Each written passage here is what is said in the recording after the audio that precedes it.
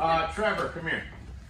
So, been thinking about spazzing a lot and trying to define what spazzing is. And I think the context of what we just worked on is it's like such a perfect example of it, okay?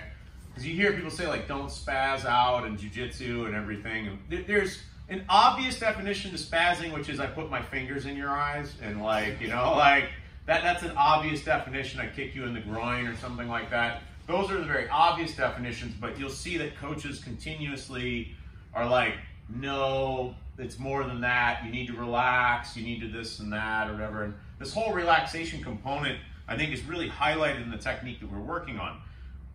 I've come up with it as four U's for thinking about what spazzing means. What does it mean that he gives me energy that is like spaz energy, okay? Spaz energy is unidirectional. He is moving in one direction, okay? Like he's committing fully and completely to one direction, all right?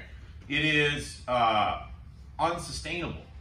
If he were to do that action over and over and over again, he would get intolerably tired, okay? He would not be able to continue to fight, all right? And when the lungs are gone, he can't fight anymore. Um, it is unstable. As a result of choosing to be completely unidirectional, he foregoes base and posture, but particularly base. He's not, he cannot have base when he's spazzing. He's, he's decided to just like be on his toes and just completely going into me. There's a lot of different ways that he could spaz. And then the last part is it's unresponsive. It all feeds into that unidirectional thing. Without base, there's no ability to pivot, change, and convert what he's doing into something else, right? So I have a good structure on him.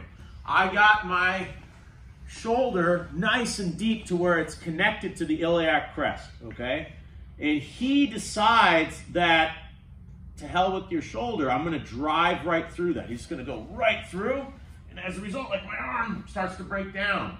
But he is unidirectional here, okay? He is, un do you feel stable? No. He's doing like an isometric hold to be up here.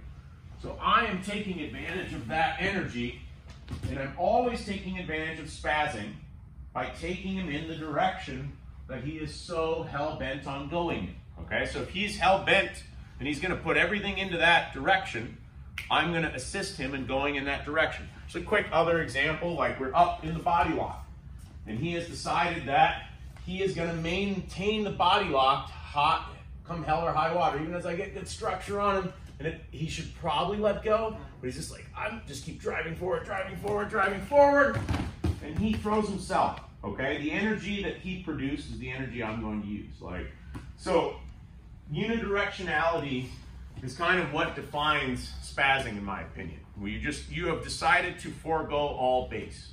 All right, and if you don't have base, I'm going to take you in the same direction that you want to go in, in every single context. Right.